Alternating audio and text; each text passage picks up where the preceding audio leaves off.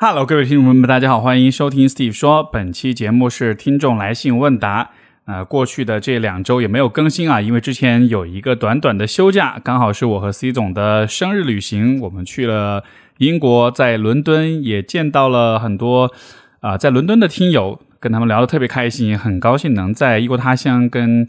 嗯、大家有这样的一种方式来进行连接啊、今天声音略有一点点哑，因为有点感冒的状况。但是无论如何呢，回来上海了，开始复更我们的节目了，好吧？那接下来就进入到我们今天的听众来信问答。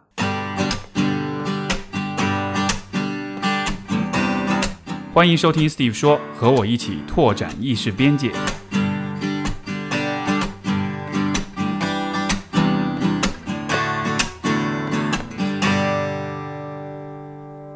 们今天的第一封信来自一位没有署名的朋友，他说：“你好，Steve 老师，我想咨询一些关于自大、自傲性格的问题。关注您的播客有一小段时间了，里面关于情绪控制的言论，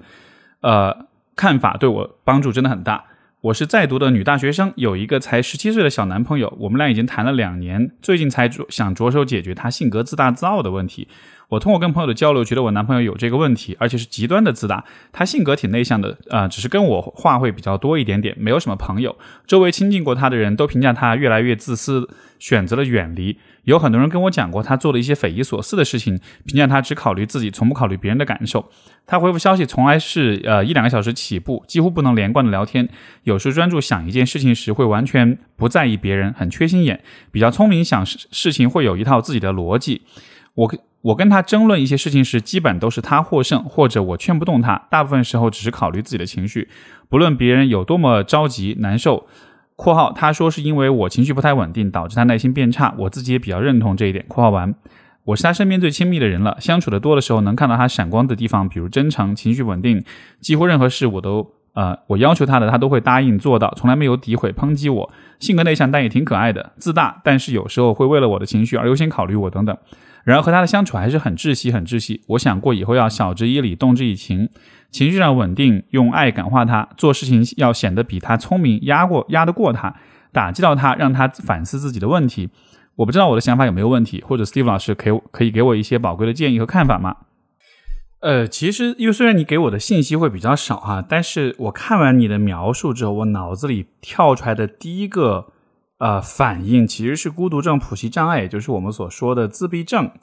呃，这是一个猜测，但是因为你描述的有些特性，比如说他回复消息从来都是两个小时起步，很难连贯的聊天，呃，专注想事情的时候不会在意任何人，包括从你的角度来说，他好像是比较不太能去同理心别人，呃，不太能换位思考，考虑到别人的感受，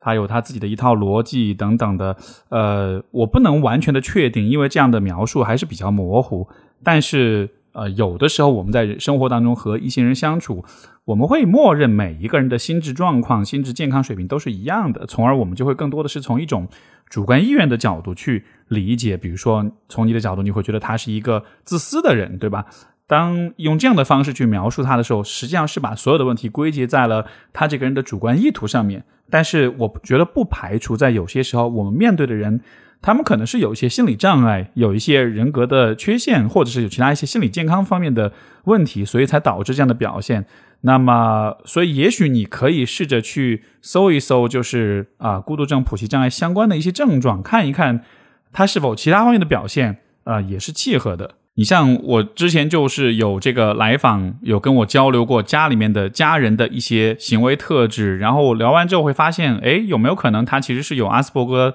呃综合症的？然后后来也推荐了书给我的这位来访，那看完之后就发现全中，然后才意识到，哦，OK，原来这个。这个家人他的状况是，嗯，有这样的一些呃，可能长期的问题，而不是说他在主观层面上不考虑我、不在乎我、不爱我等等。所以，虽然有些时候我们会觉得像这样一些心理障碍，尤其是这种发展性的心理障碍，可能离我们很远，但有的时候它可能又离我们很近，它可能就是隐藏在我们身边的。所以，我觉得还是有必要在遇到一些啊、呃、人际障碍的时候，从这个角度去考虑。然后，我觉得还有一个可能性，因为你也提到他好像啊。呃总体来说，好像换位思考跟共情能力会比较差。我不知道你是否了解，就是他从小的成长经历，但是也有可能这样的一种状况，也是在他成长过程中，可能他本身没有得到很好的关爱和对待，造成了一些创伤，所以他的我们说他的心智化的这个过程可能有一些受损。也就是说，啊，因为一个人要有能建立起换位思考跟共情的能力的话，是需要你先被别人给看见和呃很敏很敏感的、很恰当的、很接纳的方式来对待的。你只有通过这样的方式，你才能理解我还有他人，其实都是有感受，都是有情绪的，都是需要被。温柔的呵护跟对待的，那么在有些人的成长经历中，可能是经历过很严重的这种忽视，或者是可能是很严重的伤害、创伤，就会导致他的这个方面的，你可以理解为他这个方面的能力没有办法发展起来，在他的呃心智世界当中，只有他自己存在，可能不太有其他的人存在，所以当他看到别人的时候，他会无法理解，就是如果我站在那个人的角度。我对他做这些事情，他可能怎么想？这样一种换位思考的这种能力，我觉得是跟每个人成长经历有关的。所以，也许他也是成长创伤导致的结果。然后，另外还有一点就是，你也提到他十七岁哈，我是觉得，呃，这个依然是一个我们的心智，甚至说我们在生理发育上也都还是正在发育中的一个状态。呃，怎么说呢？回想起，比如说我十七岁的时候，呃，虽然不敢说是跟。你呃，你的男朋友描述那个状况类似啊，但是其实性格上也很古怪，也有就是让人觉得很难相处的一个部分，所以我觉得也不排除这当中包含着一些在这个发展阶段，他可能因为各方面的原因所限，他可能对于这个世界、对于他人的了解还很有限，包括就是他对他自己的呃认识可能也是不足的，因为。其实一个人要能够对人、其他的人和事建立起一些比较客观、比较全面、比较合理的一些认知，前提是你需要先见过足够多，对吧？就是我我们打个比方，如果人的大脑就是类似像 AI 这样的，那个 AI 需要你先需要给它喂很多数据进去，然后它的对所有的事情的这种预测和反应的模型才会变得越来越完善，然后它才会变得打引号越来越聪明。所以我觉得，对于一个十七岁的小男生来说，可能也存在着这样的问题，就是他可能没有办法像一个打引号的成年人那样来和你互动，因为在他的这个学习和心智发展的过程中，他依然处在一个输入数据还比较有限，所以他能输出的、能够给反馈的能力也很有限这个阶段。所以我觉得，可能结合这几点来看，都是有可能的。从而，我觉得站在你的角度。我觉得你能做的事情可能比较有限，因为这或许是他的心智健康的问题，也或许是他的发展的问题。嗯，作为伴侣来说，怎么讲呢？你能看到他的优点、闪光点，你愿意去帮助他，我觉得这也说明你是个很善良的人。那另一方面，我觉得你能够做的就是尽可能的去让他了解，就是呃，人和人的关系是什么样的，呃，我们应该怎么样和彼此相处。有可能这种社交方面的意识和能力，在他的成长环境里面，没有人告诉他，没有人跟他讲过，所以可能需要你去帮他了解这些东西。这个虽然听上去很很不可思议哈，就是都十几岁的人了，怎么会不知道跟别人相处？但是，确实在有些家庭，在有些的生长环境当中，这种和他人的相处，就是我们不能默认社交基础的社交常识是每一个人都具备的，因为很多情况之下，他就是不具备，或者我们就是会被灌输错误的、不恰当的这种社交常识，从而才导致我们长大了之后，很多时候跟人相处，你会发现有一些基本的常识性的问题是存在的。那你也许你能做的是帮他去了解。啊，做一个去支持他、鼓励他学习的人，啊，让他知道怎么样和别人相处，最终对自己也是更好的。让他看见在这个过程中，呃，他的学习跟改变反过来能够帮到他，能够对他有好处。如果他自己能认同这一点的话，啊，也许他会有更多的兴趣去了解。但是不论如何呢，我觉得还是需要很客观的看见自己在这个状况里面的，你的能力有限，你能做的事情也有限。我觉得，呃，以你的能力范围之内。呃，尽可能去帮助他，但是如果这个确实是一个让你感觉很糟糕的关系的话，我不觉得你有义务责任一定要去一一直要去帮他，以及你也需要去为自己考虑，你为什么要谈恋爱？你跟一个人在一起的终极的目的是什么？呃，是为了拯救他，还是说是为了自己开心？是为了有一段好的甜蜜的一段亲密关系的体验，对吧？我觉得，呃，力所能及的时候帮助别人，但是不然的话，还是更多的要照顾好自己。好，这是对这位朋友的回信。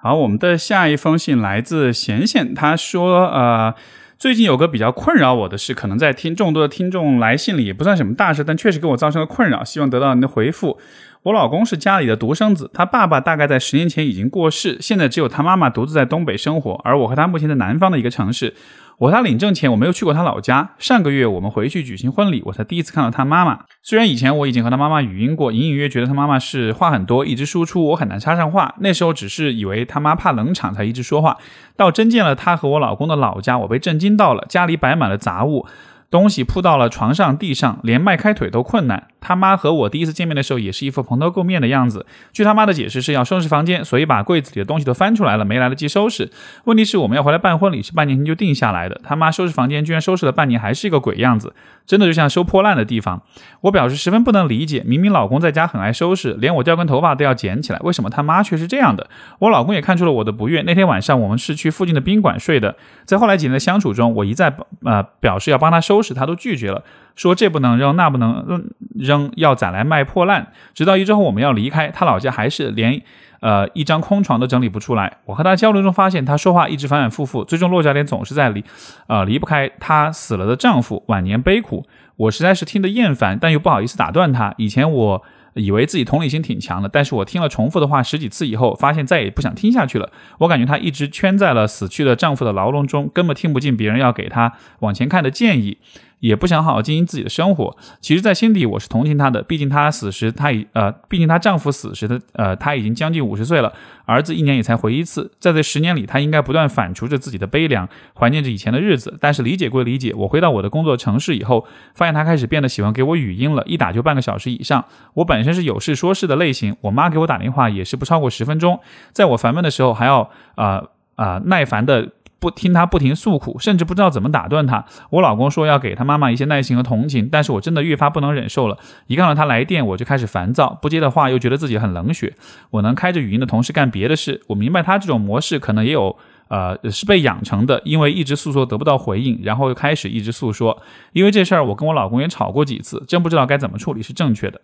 呃，首先这样的描述哈，我觉得大概率是囤积癖啊，或者说囤积障碍。然后呢？啊，这确实是一个真实存在的心理疾病。呃，其实简单来说，就是会有一些人他会在家里囤积各种各样的物品，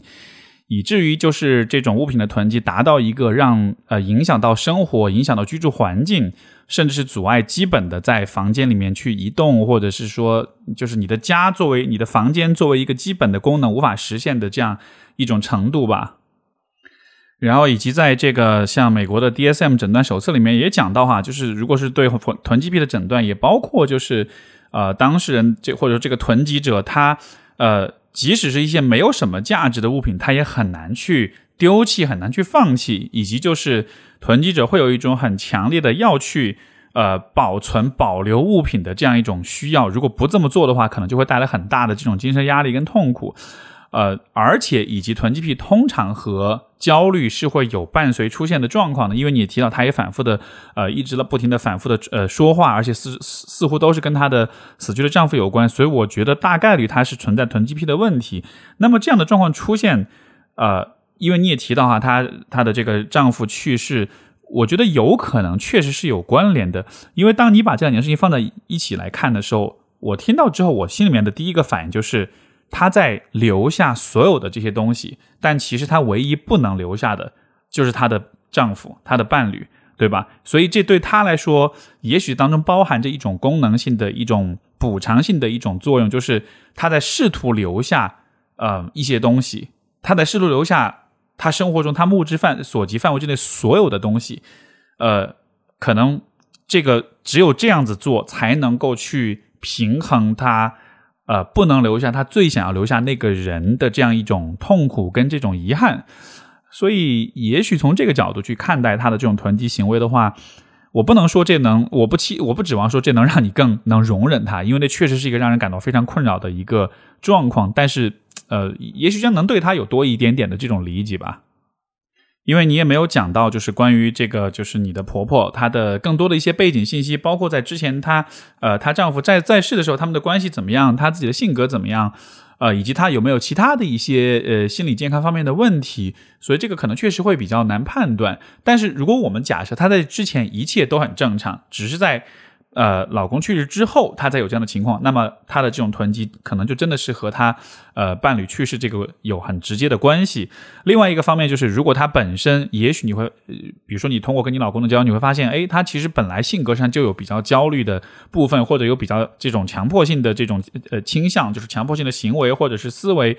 本来就有这样一种倾向了，再加上这个伴侣去世带来的这种打击，有可能会强化它，造成更严重的这种囤积癖。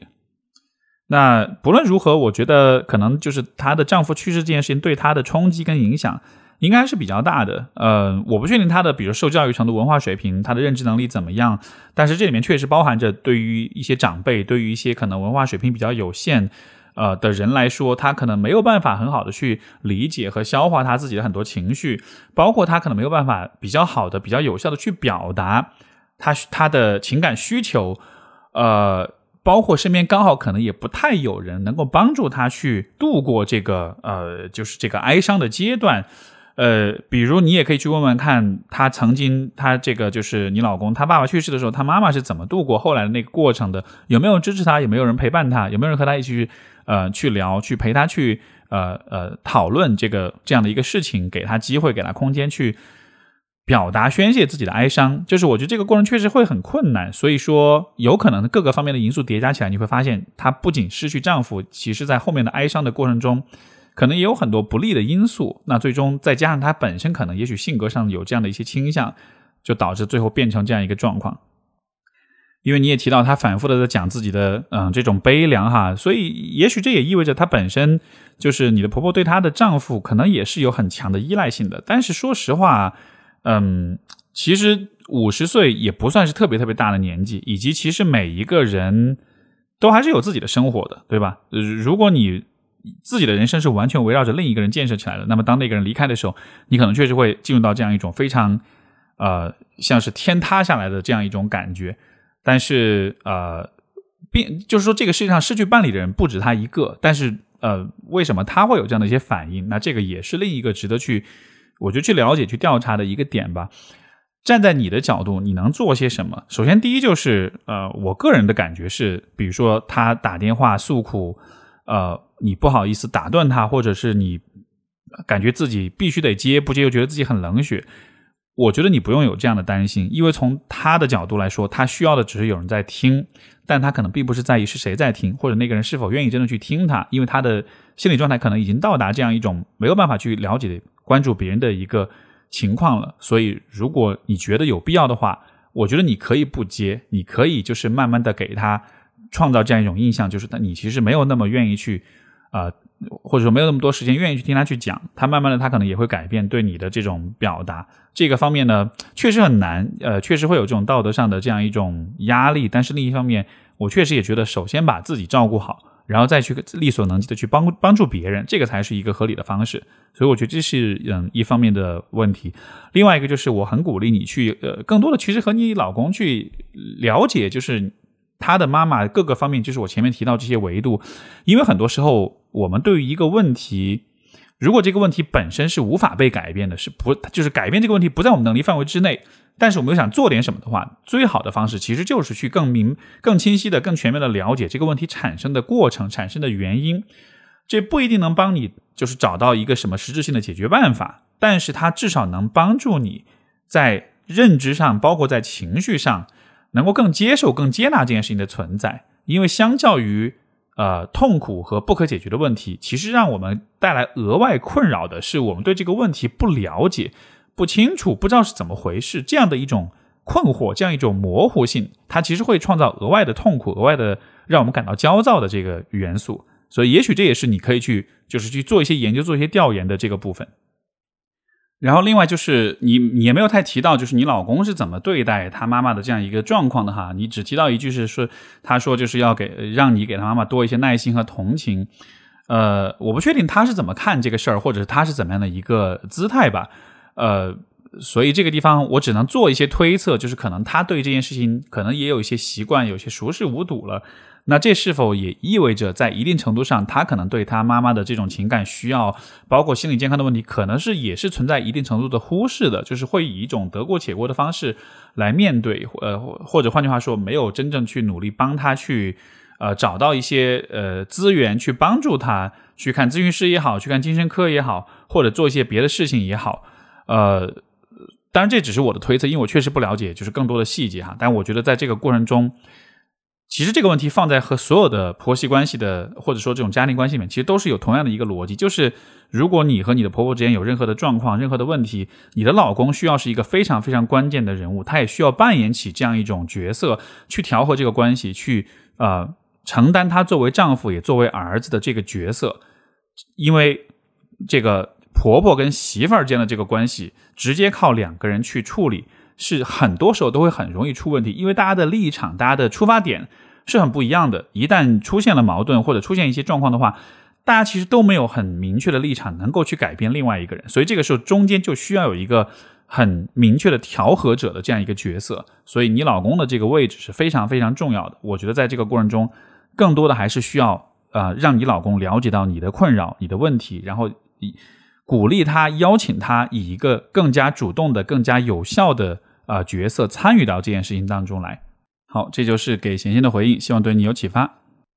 我们的下一封信来自一位没有署名的朋友，他说：“你好，Steve。首先声明，我是一个直女，喜欢男的。我最近有个问题，我的本科舍友 A 和是我本科最要好的朋友。然后去年我们分别在不同的城市上研究生，现在都研二了，平时很难见面，基本都是聊天，关系也一直很好。但前阵子暑假我去他家玩，那几天发现他和他们家那边一个女生 B 特别好，他还置顶了 B 的聊天框。那个女生我也认识，之前也是一个本科的，以前在宿舍本科宿舍也见过。然后待了几天我就回学校了。A 和 B 相约去别的城市玩，在这之后每次和 A 聊天，我都会想起来他置顶了 B，并且经常在社交平台和和就他和 B 发互动。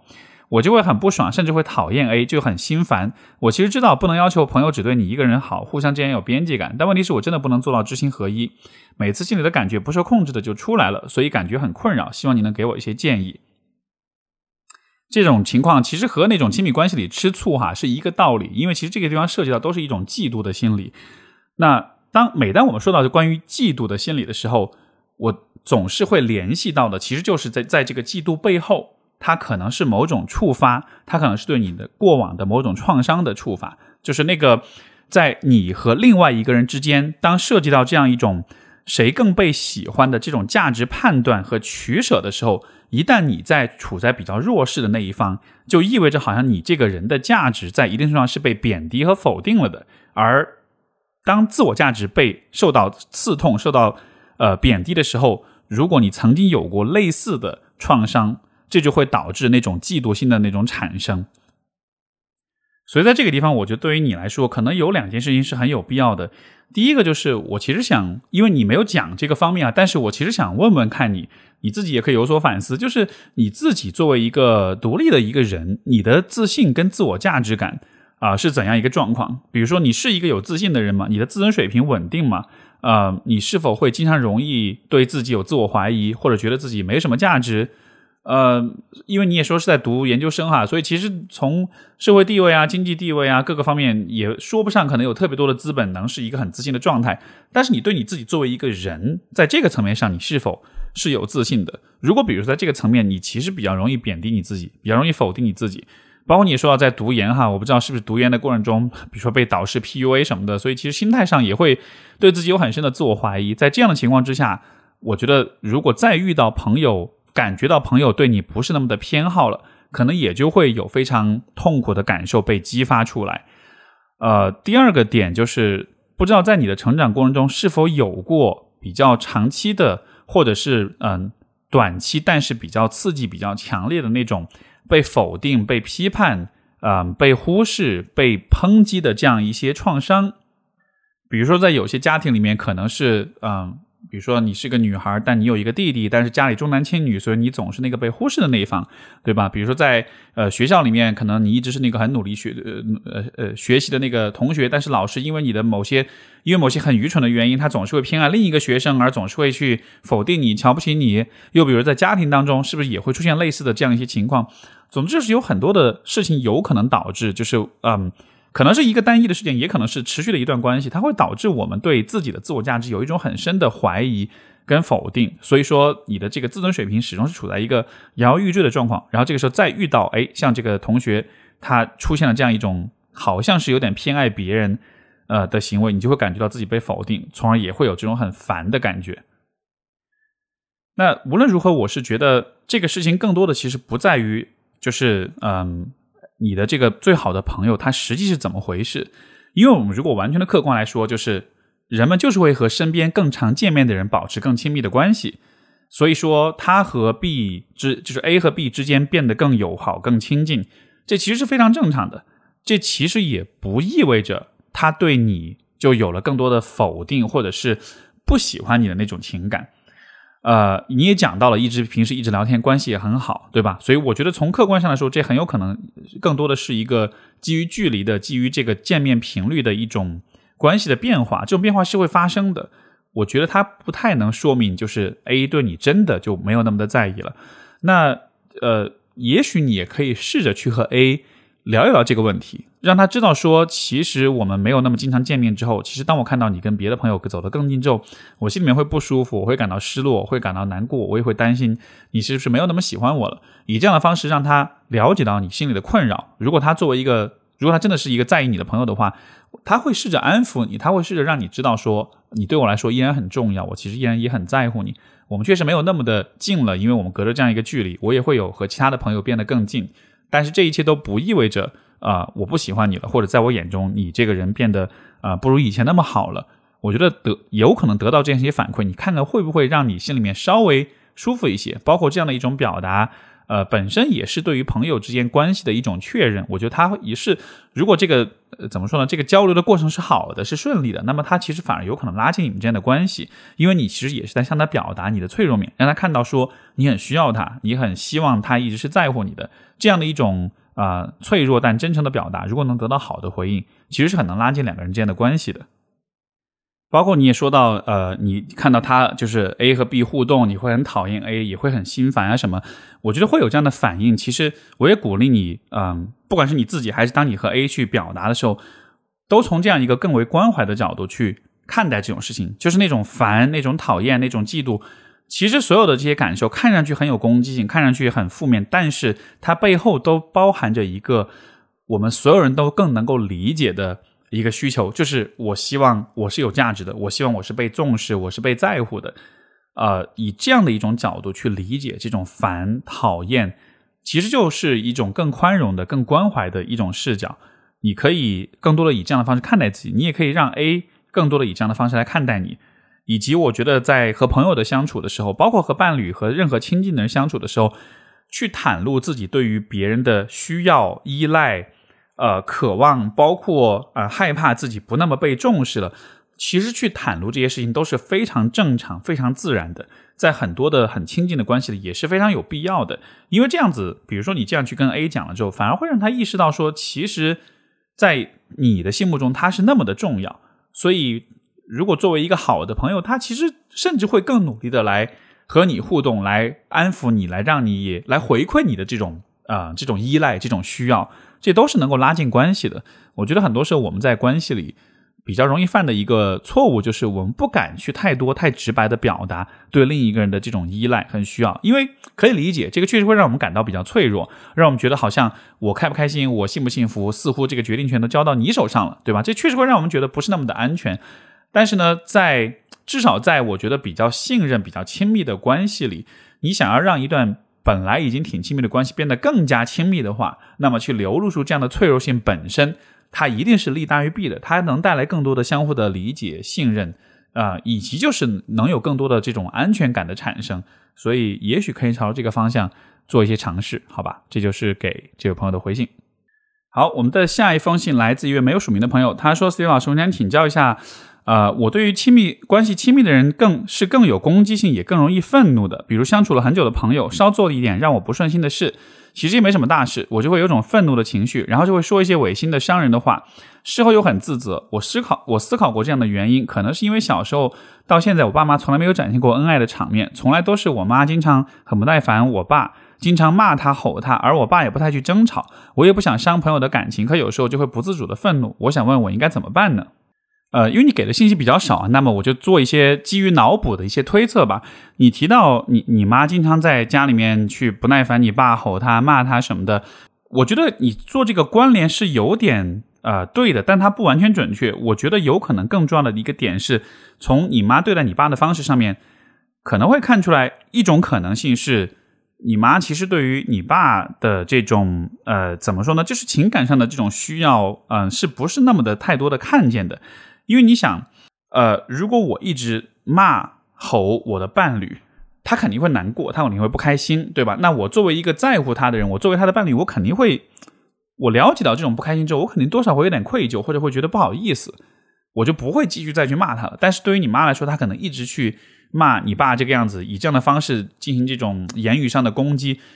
有可能，这是否意味着你妈可能怎么说呢？她对于别人的感受也不是那么的重视。当然，这个是我的一种推测哈。如果这个推测准确的话，那么接下来的问题就是，如果你妈是以这样的一种方式对待你爸的，那么我好奇她是怎么对待你的？她是不是其实对你在成长过程中，她对你的情感需求可能也是不那么重视的？你也可以回顾一下你自己在成长过程中，你是否有得到比较多来自母亲的这种情感关怀跟呵护？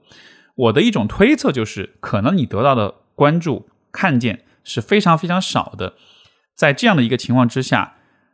你又需要被注意、被看见，那怎么能得到注意、看见呢？有可能就是通过发脾气的方式。所以，我不知道你和你妈之间的相处是不是也是会有很多，嗯，你感到不被看见，最终你只能通过愤怒、通过发脾气的方式来寻求、来获得那种看见。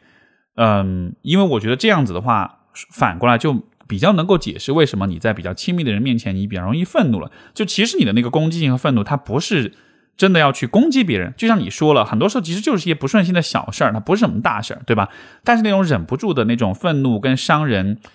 可能还是在于这个时候你其实是很想被看见，你其实是很希望对方对你有些关注，你有一些感受想要去表达，但是可能你，你你家庭环境。就是允许你表达的情感，可能只有愤怒这样一种方式，或者说只有这一种方式，才有可能得得到那么一丁点儿来自呃你妈的那种回应。所以可能有这样一种环境里的不断的强化，到了最后就形成了像是一种惯性，就是我要不然就不被看见，我要被看见的话，我就需要用特别特别大的声音，用特别愤怒的声音才能够被看见。呃，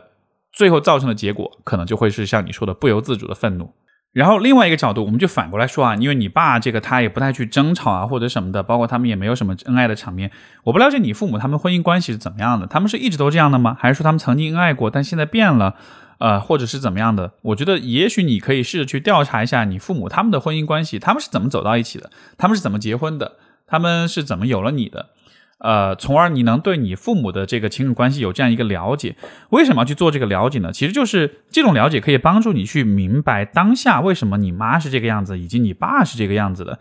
呃，我觉得这个还是蛮重要的哈。比如说，对于你爸来说，他不去争吵，所以在你现在的描述里，好像主要是你妈在吼你爸，你爸好像是那个比较逆来顺受的那个人。如果只是带着这样一种叙事的话，你就会觉得哈，你爸是个彻头彻尾的受害者。但是如果你了解了这个关系，它一一直以来的发展历程的话，可能你的这个叙事就会改变。比如说，也有一种可能性是，呃，这个完全是脑补啊，就是也有一种可能性是，比如说你爸其实并不是很爱你妈，或者说他并不是很关心你妈的情感需要，他经常也是以这种比较冷暴力或者被动的方式去回应你妈，所以到了最后就造成，就是我前面所讲的，你妈在你妈面前。他的情感需求得不到看见，得不到回应，那么最终他只能上不断的升级上升，最终是到了一种骂他、吼他的阶段。在这个阶段，他可能依然也得不到太多的回应，但是也许会得到一点点的回应，或者说至少这个样子会让你妈感觉到这是他能够发出的最大的声音了。所以，如果是这样的一个叙事，那么你就会看见，可能你并不是像你说的，你妈是那个，呃，那个很暴怒的人，你爸是那个受害者。这个当中就包含更多的、更复杂的，在父母关系之间所存在的一些拉扯、挣扎、一些历史遗留问题。所以，就还是我前面所讲的，这个问他就是你父母的婚姻关系，它不一定是你能改变的，但是你了解他为什么是这样的，至少这有助于你把这个问题变成一个你比较熟悉、比较清晰了解的问题。呃，他不一定能够帮你得出任何的结论，或者是做出任何改变，但至少知道为什么，我觉得有的时候还是蛮有帮助的。包括知道了为什么，反过来可能也会有助于你去了解你自己为什么是这样的。因为毕竟我们从小在父母的这种言行举止的浸浸染之下，哈，就是肯定会有很多无意识的模仿，所以有可能你也会由此看见你的那个模仿是从哪边来的，是怎么样去形成的。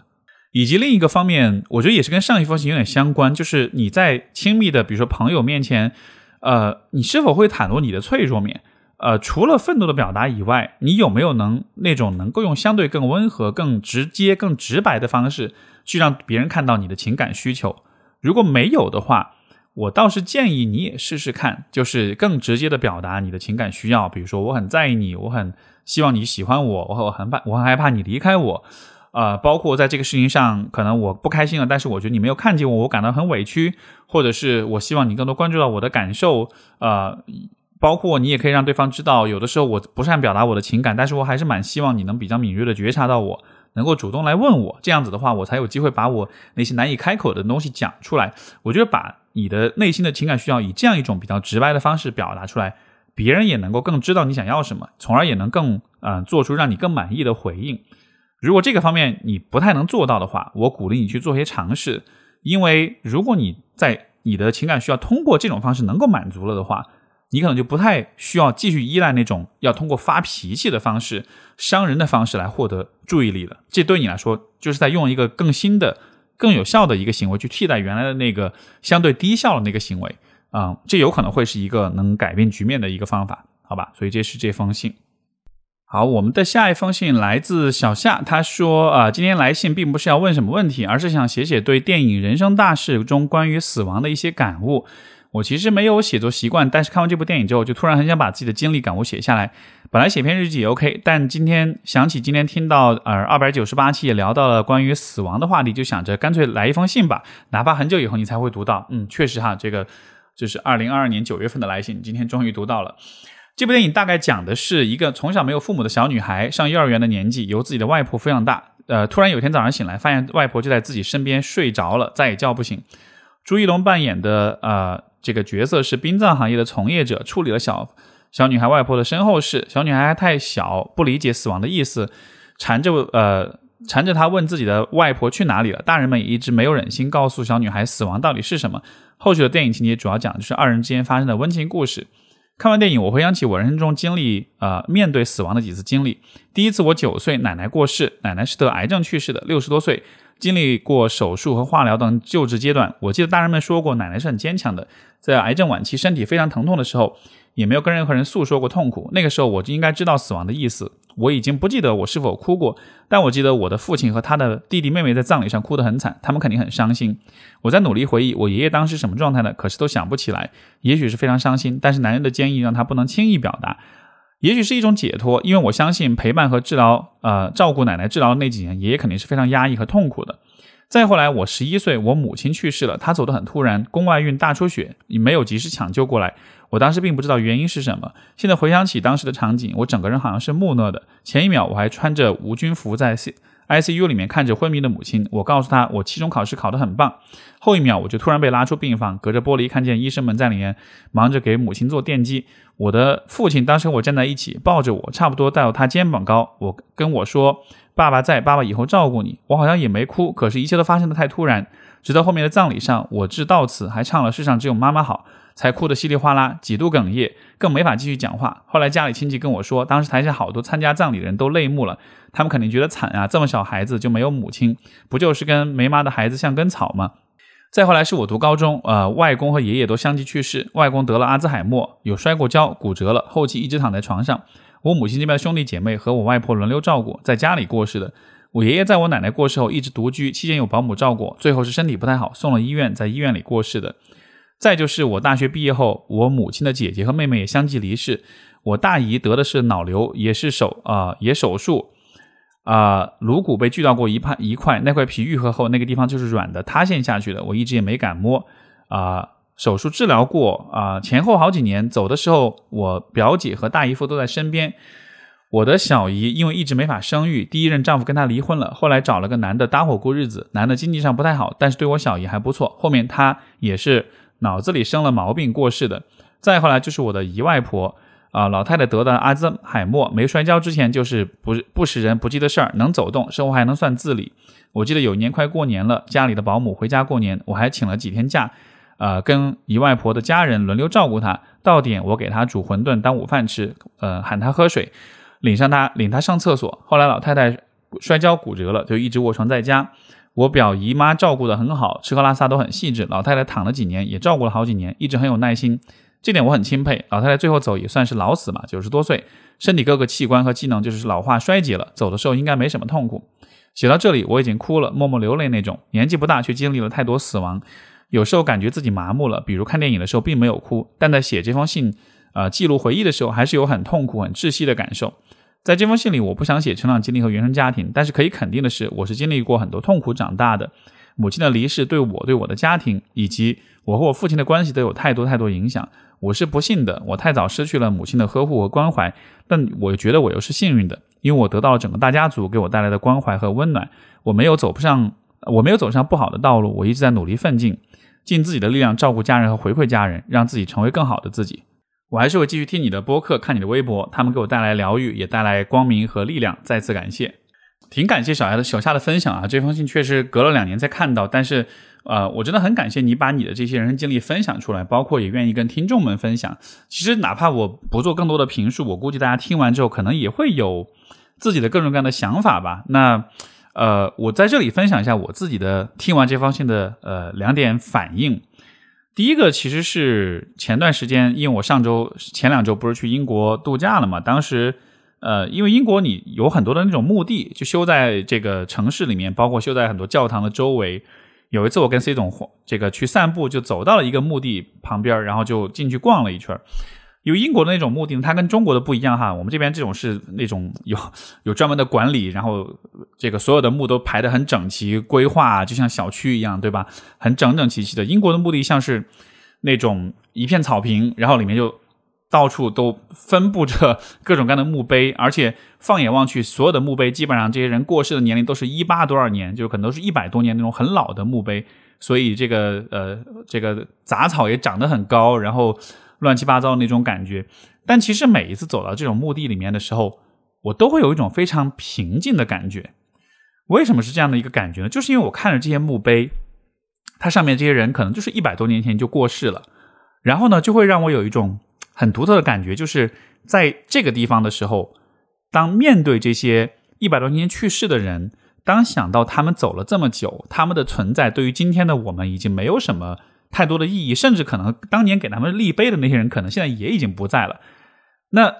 这这个听上去，让人觉得很很很虚无、很绝望。哎呀，我们都会死，所以活着还有什么意思？但是我之所以感到很平静，恰恰就是在于，在死亡面前，很多事情其实都是微不足道的，所以我反而会心情很平静。因为什么让我们浮躁？什么让我们？啊，感到不安宁的，恰就是因为我们觉得我这个也想要，那个也想要，我有太多的欲望，有太多的贪婪，有太多的呃渴求，所以人的心才会非常的波动，非常的难以安宁。而在这种墓地当中，在这种被呃死亡所围绕的这种环境里面，我觉得人是更容易想明白什么是重要的，或者说人会更容易停止去想那些重要的东西。而看见说啊，人生都是非常脆弱跟有限的，在这样的情况之下，我们才有可能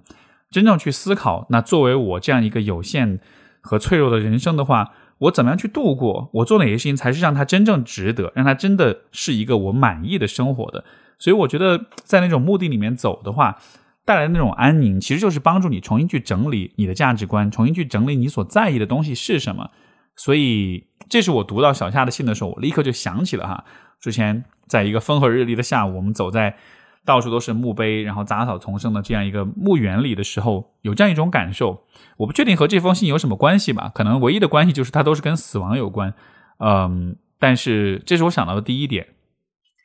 第二点就是，呃，小夏也讲到，其实从小到大经历了很多人的死亡。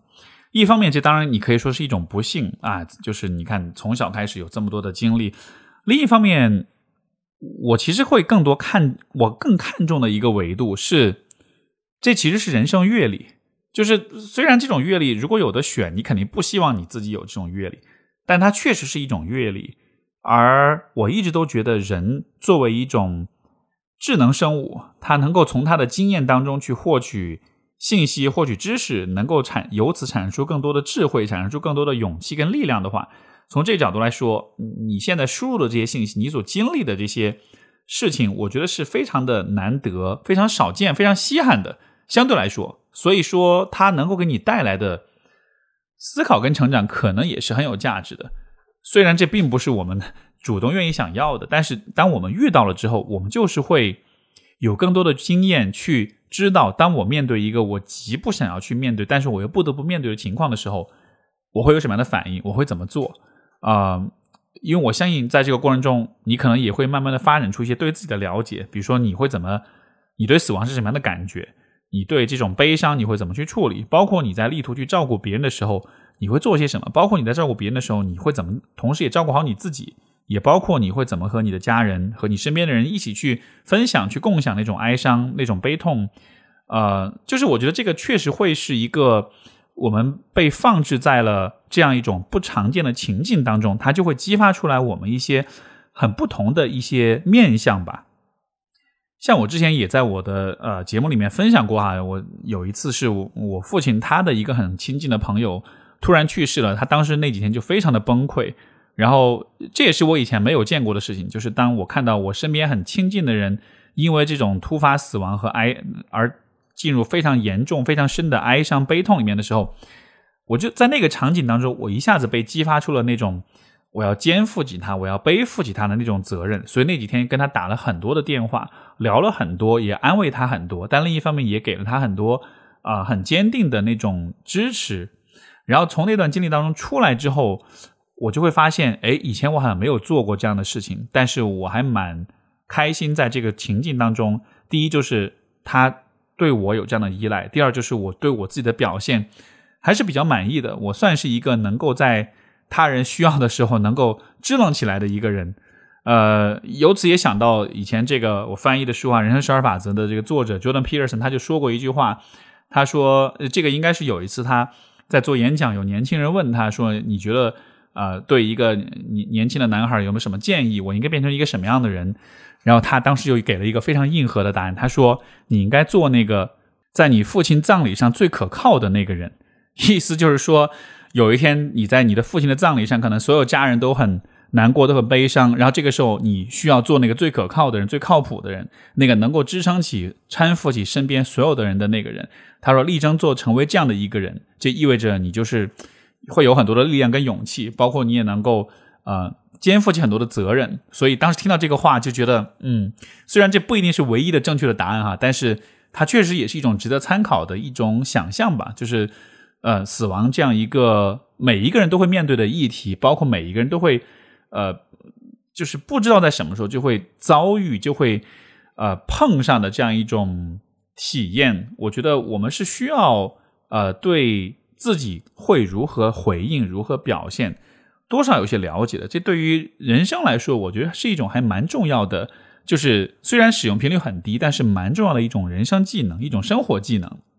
以及最后一点就是，我不知道小夏现在是否有伴侣哈，是否有了自己的家庭。但是我想你有过这样的经历，你对于死亡、对于爱、对于家庭有了这样一些体悟，体悟之后，我猜想其实你的爱情应该会很很好。这个好不一定说是很甜蜜、很幸福的那个好。而是说，我们对于另一个人的爱，很多时候就是建立在这个人有一天会离开你，他会死这件事情上的。这虽然是一个很硬核的说法，但它确实是我很真诚的一种一种信念。就是我们正是因为人的脆弱性，才特别的需要去珍惜那些对我们来说很重要的人。所以，我我会觉得，有过你的这样一些经历之后，有一天如果你会爱上一个人，跟他组建家庭，啊，和他结婚生子，有了孩子的话。可能你对于你的伴侣，你对你的孩子的那种感受、感悟，跟一个没有经历过这样的人，呃，相比较的话，我觉得可能是会多出一些层次跟复杂性的。所以从这个角度来说呢，呃，你所经历的这些死亡，也会让你自己的呃亲密关系、你自己的人生经历当中多一些更丰富的一些底色吧。所以这个角度来说，我确实觉得他是幸运的。嗯，更进一步来说，就是死亡这件事情，它究竟是不幸的吗？它是它真的是完全是一个不幸的悲剧吗？由此我们就可以看到，也许不完全是因为死亡作为一种不可避免的人生体验，它有些时候是可以为你的内心、为你的精神世界增加一些丰富性、增加一些多样性的，从而你也能够更好的呃生活。呃，换句话说，就是死亡对于死去的人来说，可能也就没有什么意义了。但对于活着的人来说，有些时候它其实会带来很多东西。但是就看你愿愿意以怎么样的心态去面对死亡。有些人可能会很回避、很逃避、很恐惧，觉得它是一种禁忌，是一种不应该随便聊的不吉利的话题。但是至少从我的角度，我会很愿意去直面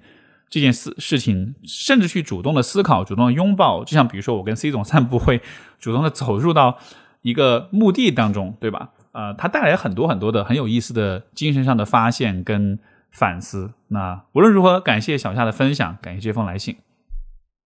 好，我们今天最后一封信来自一位没有署名的朋友，他说：“Steve 你好，我是一位忠实听众。我个人的情况应该是青少年时期抑郁，不过因为小城镇环境没有发现，直到工作以后暴食症引发的器官衰竭，呃，住院才逐步查出来。按照中重度治疗，呃，抑郁服呃服药治疗，想死的念头很多，但落实到行动上的自杀倾向比较少。总体来说控制的比较好，但是躯体症状严重。”呃，腹胀、手抖、心率、血压很低，呃，疼痛感知很低，经常受伤，在暴食和厌食里面徘徊。原因不外乎原生家庭，自以为坚强快乐的长大了，到了大学才发现自己其实已经破碎的一塌糊涂，就像是不良商贩贩卖的碎肉拼贴的肉卷，我驾驶着一滩肉体勉强存活。另外，可能因为。从青春期以来，长期患抑郁，我基本上没有过性冲动，自然也没有爱情，没有亲情以外的足够强大的亲密关系。约定过一起自杀的朋友先我一步走了，意识模糊的时候会感觉他呃在我面前一次次的坠落。如何治愈已经发生过的伤害呢？我曾经以为我已经治好自己了。父亲怀孕，呃，父亲孕期出轨母亲的继妹，为了家丑不外扬，母亲受了委屈，控制欲大增。我是个不被期待的、不受喜爱的扭曲家庭出生的孩子。呃，考试成绩不好，妈妈会不允许吃饭，让我把饭让给不存在的哥哥。会因为不肯喝粥，在粥店里被爸爸掀桌子，打到全全店来拦。在六一儿童聚会上被拖到地上用脚踩，和女同学的聊天记录会被打印下来墙上公示。初中出去和同学聚会会被跟踪，直到二十来岁上呃大学读大学，书房还会被装摄像头。我不穿裙子啊，不穿露胳膊的衣服。我憎恨身为女性的身体，然后憎恨我自己。这些都是我长大之后才知道不对劲。少年时期，我凭着书籍给我的一片幻想空间，学校给我的一片乌托邦，挣扎逃生，靠着一点点做题的天赋，还能考上了还可以的学校，又用考试技能继续考个呃能养活自己的工作。我大概知道知道自己的抑郁四五年了，服药治疗三四年了。一度以为已经完全治愈自己，但是疾病暴露在父母面前之后，他们的痛苦、愧疚和挽回，给我带来了更大的痛苦。我发现我其实不能治愈，也不能原谅。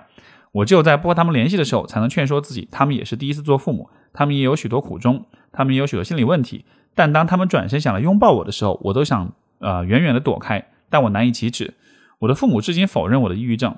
呃呃，我妈会觉得我的暴饮暴食引发。是暴饮暴食引发的抑郁问题，为此搬来和我同住监督。坦白来说，每天早晚我我看到他温柔的和我说“宝贝”，我都会回到童年，开始崩溃，内心尖叫着一动不了。我该怎么办？呃，听完这封信哈，我觉得这位朋友真的非常非常的辛苦跟不容易，而且你也提到是在那种小城镇的环境里面得抑郁症。我了解，在这样的环境里，其实作为一个精神疾病的患者，会遭受很多很多的。忽视、跟虐待、跟误解、跟这种偏见，所以我觉得能活到今天，能靠着你的能力一点点的呃独立，到了今天能够有自己的独立的生活跟工作，其实我觉得都是非常非常了不起的成就，所以这是我觉得非常值得认可的一点。呃，关于你的信有几点我想回应吧。首先就是你说到你的父母他们呃想要去，他们感到愧疚啊、挽回啊，会让你带来更大的痛苦，然后你也会很崩溃。你你妈在。这里来与你同住，啊，他们想要拥抱你，你会远远躲开。我觉得这样的一些反应非常的真实，也非常的正常，因为那样的一种家庭环境给人带来的伤害，会让我没有办法在父母面前感到安全。所以你的那种抵触，其实是你的内心深处在，就是在发出那种不安全的那种危险的信号。因为基于以往的经验，经验和他们的相处总是会带来很多的伤害，所以这个时候你会。没有办法去接受这种亲密，你对亲密是抵触的，我觉得会有这样的现象很正常，你也可以有这样的表现，你也不用因为自己想要躲开父母，哪怕是想要道歉的父母而感到难以启齿，感到愧疚，因为这并不是，就是我们的这种情绪反应，并不是一个曾经很多年对我不好，今天突然一道歉，我立马就能扭转过来的这样一种反应。所以我觉得不需要有这个道德负担。你现在没有准备好去接受他们的道歉，你没有准备好和他们亲近，那么这个时候就让他们保持距离。包括你说什么搬来和你同住、监督，如果他，如果你的母亲就是那个引发你抑郁的那个人，包括他现在依然否认你的抑郁的话。我觉得搬来和你同住的结果是会让你更抑郁。你也说了，对吧？他每次叫你宝贝会触发，你会感到被触发，你会开始崩溃，内心尖叫，移动不了。就这期都是恐惧的反应。所以我觉得可能对你来说更好的方式，就让他先让他回去吧，然后你自己住啊，你自己慢慢的先整理你自己。第二呢，就是你提到你所遭遇的这些经历哈，不管是这种。呃，你你母亲的控制欲，包括你提到你不受期待，所以我理解为是可能你家庭里面是重男轻女的，然后会你你你妈会让你把饭让给不存在的哥哥，就是他们可能期望你是个男孩，对吧？我如果没理解错的话，嗯，包括这种各种各样的虐待呀、被打呀，然后被跟踪啊等等，我理解所有这些经历，呃，这种创伤性的经历，它可能给你留下的一个影响，就是你会对自己对自我的价值会非常的否定。你也说过，你憎恨自己身为女性的身体，憎恨自己，因为就好像是你所经历的这些事情，你通过从小到大通过别人对待你的方式，判定了说你自己是一个非常非常不好的人，所以可能这个我觉得和你的那个抑郁是直接相关的。就是当我们遭遇来自外界的很多创伤，然后这种创伤，我们把这种创伤的归因原因解释为是我引起的，是我很糟糕的话，这种向内的。这种归因跟自我攻击，一定就会导致抑郁。那么，至少从认知上来说，我们怎么样去啊改变对这件事情的看法？怎么样停止停止去自我攻击呢？有一个视角可能对你会有帮助，其实就是在回溯这些经历的时候，在看到这些场景的时候，当你自我攻击的时候，你其实就是在完全的去避免，完全的去让。这个场景里的其他人可以不负任何的责任，比如说你讲到你在粥店里不肯喝粥，被你爸呃这个掀桌子打到全店来拦，对吧？看似在这个场景里面是一切都是因为你不肯喝粥而导致的，但是在这个画面里，你的这个归因其实是没有包含你爸他负有什么样的责任。作为一个父亲，作为一个成年人，作为一个监护人，他在这个场景里，他在处理你不肯喝粥这件事情上，他本来应该负有什么责任？第一，他作为一个爸爸，他对孩子的嗯这种行为上的不顺从，究竟是应该用暴打来对待，还是说其实是有更好的方式？如果是在一个很健康的家庭环境里，在一个很有能力的父亲那里的话，孩子不肯喝粥，这是否他所选择的这个方式是否是最好的方式？显然不是，对吧？以及他作为一个成年人，作为一个成年男性，他有如此暴力的这种表现、这种行为，他是有责任去调节他自己的情绪。哪怕是在育儿的过程中，会有一些挫败，会有一些困难，会有一些让自己不爽的事情，但他是有调有有这个义务、有责任去调节自己的情绪，包括有这种责任义务去啊调节他自己的暴力冲动跟倾向的，但他没有这么做，所以你会看到，我们如果回到这个场景里的话，这个事情的发生不是因为你不肯喝粥，而是因为你爸作为一个成年人，他。他躲过了，或者他逃避了，他没有履行他作为成年人、作为父亲的一些很基本的责任。所以，同样的视角，我就放在啊另外一个场景，就是你说的，你妈她不让你去吃饭，让她把饭让给不存在的哥哥，对吧？这个叙事，很多女性在这种重男轻女的环境当中都会遭遇到，而她们都会真的认为，所有这些事情的发生都是因为我是个女孩，然后就会开始否定自己、攻击自己、憎恨自己作为女性的身体。可是，我们如果再放到这个场景里来看，你、你的妈妈或者你的家人，他们负有什么样的责任？首先，我觉得最基本的一点是，不论啊家人之间有什么样的偏见、什么样的成见、什么样的怨恨，但是对彼此的最基本的尊重、照顾，这应该是所有人都应该懂的事情。哪怕我们是对于陌生人，我们都不会很轻易的去冒犯别人，去去攻击别人。更不用说是自己的家里人，所以在这个问题上，所有的重男轻女的家庭，我觉得基本都是都是不懂得基本的尊人的尊严和尊重的，这是他们负有的责任，这是他们没有做到的事情。然后你也提到，你是因为你考考试成绩不好，你妈会不允许你吃饭或者什么的，所以你妈她作为一个母亲，她在辅导你学习、帮助你在成获得更好的成绩这件事情上，她是也是有责任去找到最合适、最恰当的方式来帮助你。她所选择的这个方式。并不是最好的方式，对吧？甚至可以说是最糟糕的方式，因为它会让一个已经遇到困难的你感受到更多的对自己的否定。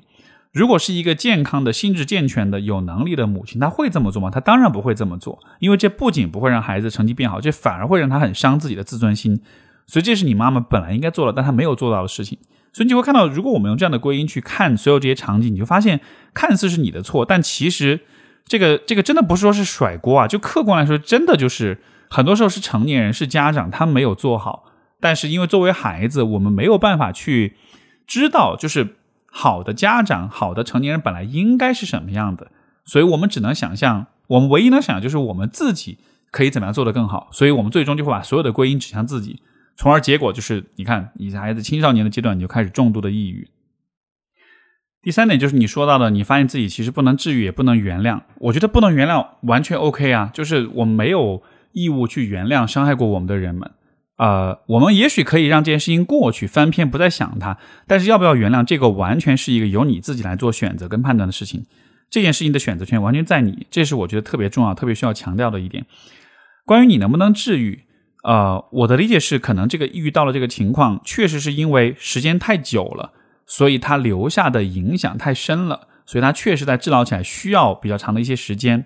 但是我也想你对自己多一些耐心和信心，你是可以，我不能说是完全回到原来的样子，因为不可能回去。但是我觉得至少在症状的层面，在这种内心痛苦的层面是完全有可能变得更好的。所以我也鼓励你继续坚持的去治疗，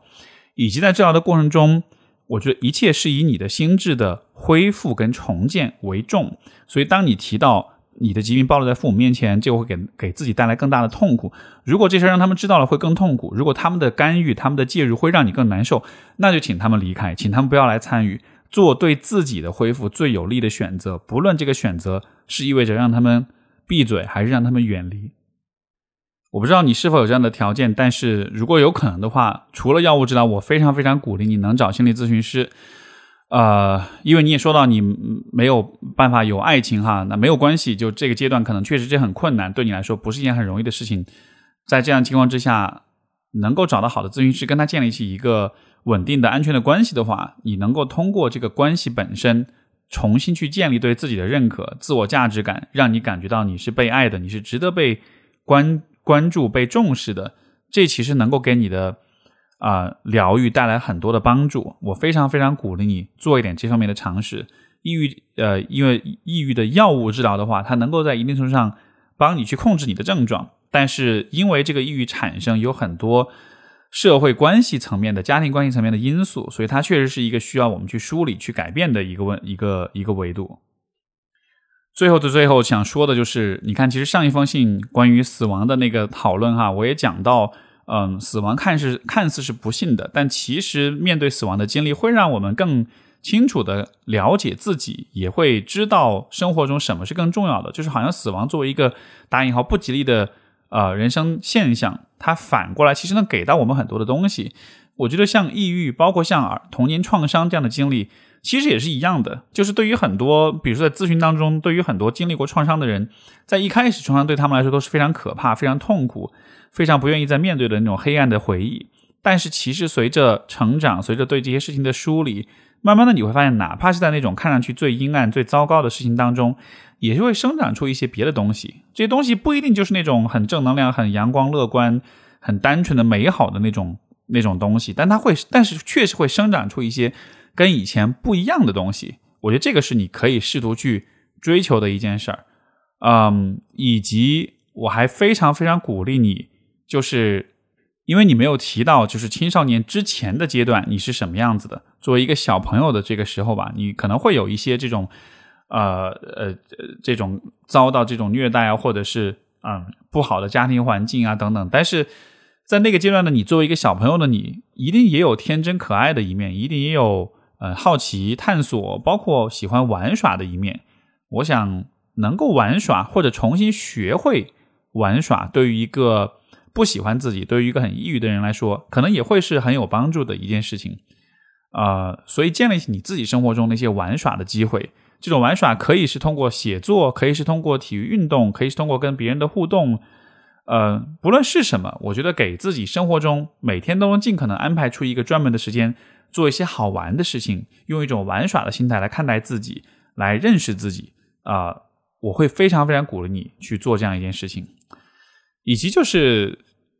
我想听众朋友们去听完这封信之后，我也鼓励大家在评论区里面给这位朋友一些鼓励吧。不论你听完这封信之后是什么样的一些感想，或者你想想到些什么。或者你自己有一些类似的经历，你是怎么走出来的？你是怎么嗯治疗和拯救自己的？我都希望你能够分享给这位听友，包括也分享给其他的在听这封信的有类似问题的朋友们。希望他能够在这个评论的这个评论区里面构建起这样一种相互帮助的